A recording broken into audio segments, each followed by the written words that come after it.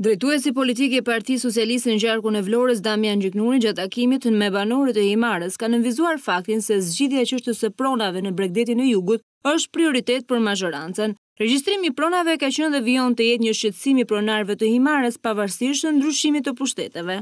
Procesi tashmë ka filluar dhe është në rrugë të mbarë. Një kërkesë më e madhe e llogarisë në Kadastrën e Vlorës, natyrshëm dhe një ndërgjegjësim nga ana e qytetarëve këtu, e bashkëfshatarëve, e njerëzve tuaj, me qëllim që të aplikojnë në kohë dhe ky proces të eci më së miri. Politika e Lulzim Bashës, nëse do të vinte në pushtet për të anuluar çdo ligj të qeverisë Rama, sipas Gjiknurit, do ta çonte vendin në një situatë të paprecedent. Kundërshtarët tashi kanë dalë me teorinë do t'i do t'i rrëzojmë të gjitha ligjet që ka bërë Edi Rama për pronat. Kjo do të thotë që prapë kaos.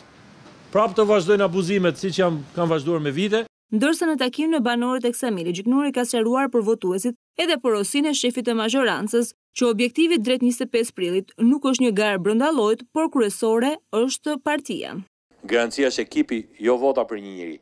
Kështu që unë ju bëj thirrje të gjithë votat numri dymbëdhjetë. Në takimet elektorale në jug të vendit Gjiknuri ka kërkuar edhe votën e përfaqësuesve të biznesit të eksportit.